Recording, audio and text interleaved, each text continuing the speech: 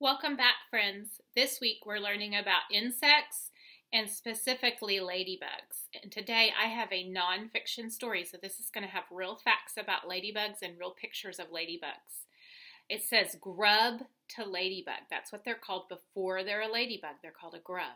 The book is by Melvin and Gilda Berger, and it's by Scholastic Publishing. So nonfiction tells us real facts. Here's the title page called Grub to Ladybug.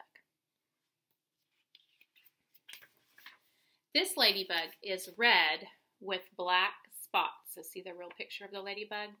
Hopefully you're looking for some of those outside. Look for those around your house, out in your yard, or when you're on a walk. The mother, lay, uh, the mother ladybug lays eggs on a leaf. There's the eggs. And here, this book has a bunch of little fun facts. That's what it says, fun fact. Ladybugs lay um, lay a few eggs at a time. So they don't put all their eggs together. They move around and lay a few at a time around the leaf. And I have a little thing, what it might look like if you found a leaf with some ladybug eggs. That's what they look like. So she'll put a few on this leaf, and she'll go to another leaf, and she'll put a few on that leaf. Here's what they look like. They're real tiny. This next page shows them really blown up big. It says ladybug eggs are yellow. So they're not really that big. They took a picture and blew the picture up so that you could see them. They're real small like this. So they lay their eggs on a leaf. And then the eggs hatch. And when they're hatch, a grub comes out of each of those eggs.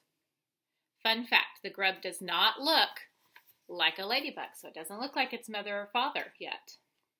Okay, and here's what a grub looks like. It's not real. This is a pretend one. It's a plastic one that I have. So there's what a grub looks like. You might see these outside. They're a grub before they become a ladybug. This is what they are when they come out. They grow and they eat and they get bigger. They're a grub. The grub eats little bugs. So it finds little bugs on leaves. Ladybugs are really good for your plants because when your plants have little bugs on them, the grubs, the ladybug grubs, will eat those pieces. Grubs can eat at least 60 bugs a day. That's what our fun fact says. The grubs grow bigger and bigger.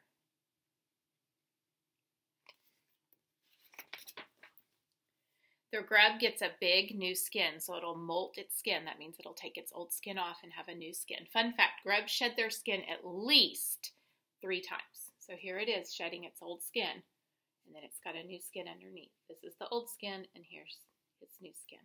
And he gets bigger and bigger and bigger. Then the grub stops growing. There he is eating some more bugs. So then the grub stops growing and the grub makes a hard shell. It's called a pupa. And here's what a pupa looks like. Let me grab the leaf so you can see a little better. See it? It's called a pupa. The pupa changes into a ladybug. It takes a few weeks for a pupa to become a ladybug. That's what that says right there. So here's the, the pupa, and there's the ladybug coming out of that pupa. The ladybug has six legs because all insects have six legs. There's three on this side and three on this side. Six legs. Ladybugs are insects. All insects have six legs. We just said that. The ladybugs have four set of wings. So they have the ones that have the spots on them, and then they have some little clear looking ones. Four sets of wings. The new ladybug lays eggs on a leaf, just like their mom did. And the cycle starts over. So after they lay the eggs, do you remember what happens next? What comes out of the egg?